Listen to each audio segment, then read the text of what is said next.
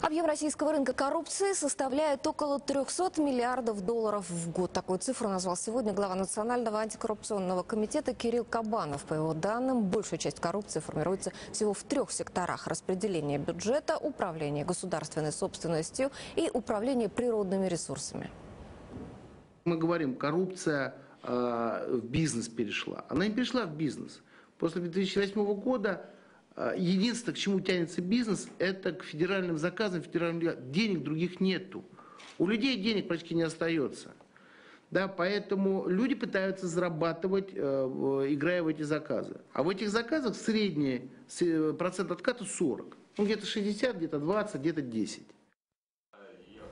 По мнению Кабанова, основные очаги коррупции закладываются уже при распределении бюджета различных уровней. И в тех сферах, куда перетекает больше денег, тут же становится больше и коррупции. В качестве примера глава Национального антикоррупционного комитета привел историю с госзакупками томографов в сфере здравоохранения.